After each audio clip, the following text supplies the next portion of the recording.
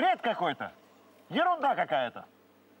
Вот я тут прочитал, что противогаз улучшает качество воздуха с помощью фильтра. Я, естественно, не могу больше находиться в ужасной атмосфере, ужасной экологии города Москвы. Нацепил противогаз. По идее, я должен себя чувствовать лучше с каждым днем. А я вот его три дня не снимаю и чувствую, что мне как-то сегодня плохо стало реально. Во-первых, неудобно чистить зубы. Очень. Во-вторых, нос чешется постоянно, его не почесать. И в-третьих, ну я не могу уже дышать вот этой вот... Короче, я снимаю с себя противогаз и всякую ответственность за него. А вы смотрите сюжет про этот вот противогаз. О! Ой, ой, ой. Наверное, надо было открыть, да, все-таки? А, ничего, так тоже неплохо.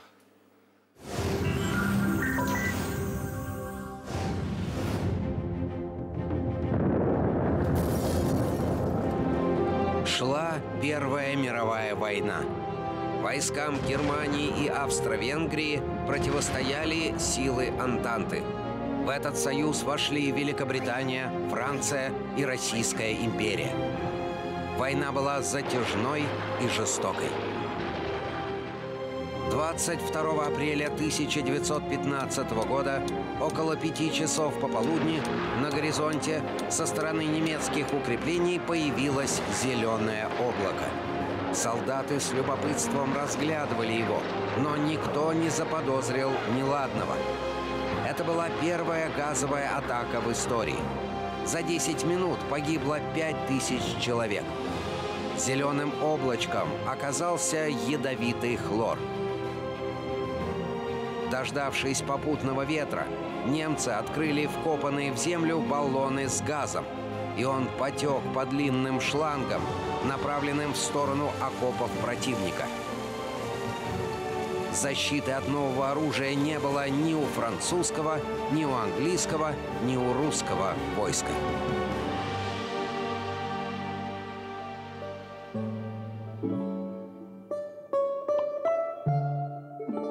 Встретились как-то три генерала. Русский, француз и англичанин. И стали думать, как же фрица победить. Встает первым англичанин. Надо разжечь костры вдоль окопов.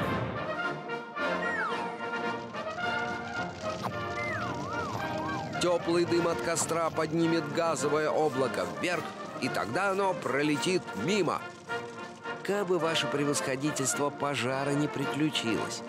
Кругом в окопах-то порох.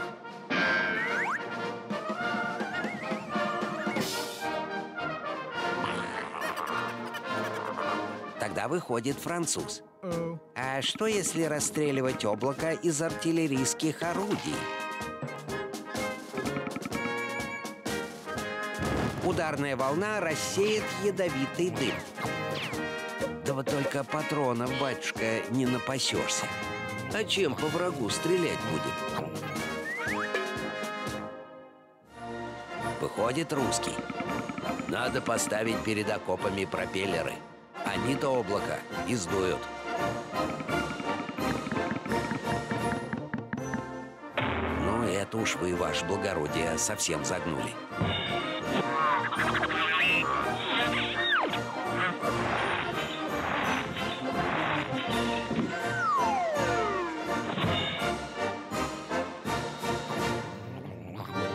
С облаком надо воевать, а изыскивать средства, которое для каждого солдата служило бы верной защитой.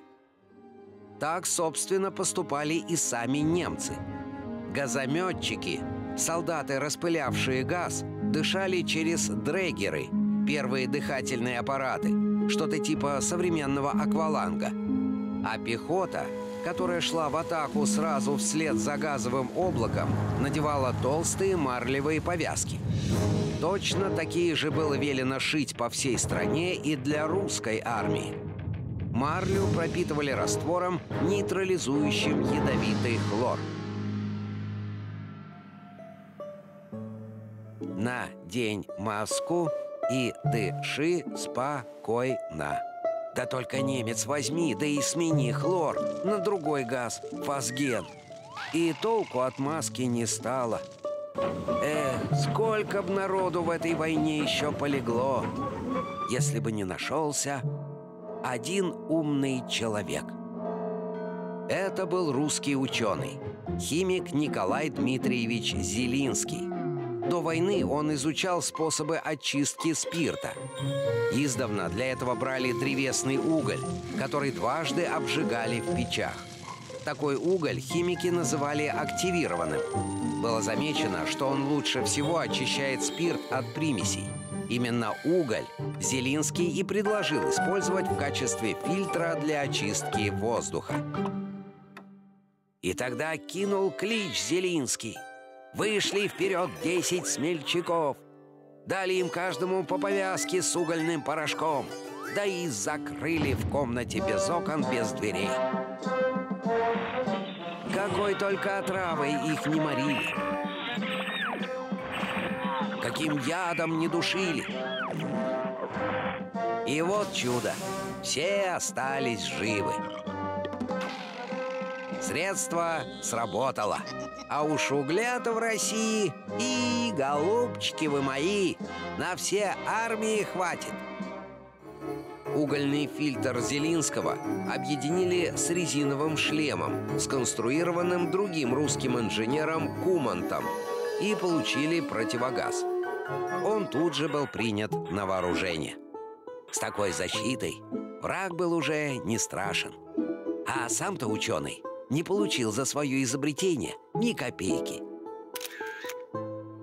Не захотел на жизни людской наживаться. Эх, доброй души был человек.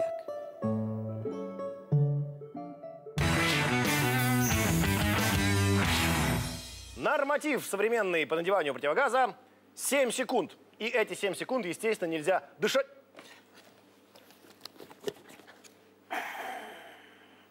Выдохнул, и теперь я могу запросто находиться в испорченной кем-нибудь атмосфере. Портите! А у нас таких любителей по... О, господи, фу!